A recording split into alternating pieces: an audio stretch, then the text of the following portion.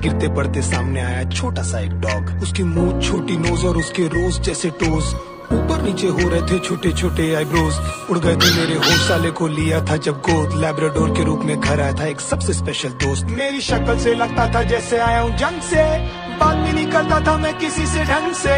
फिर तुझे ज़रिया बना कर वो आए वनडे मैं ढूंढ रहा था कंधे और मिले तेरे पंजे।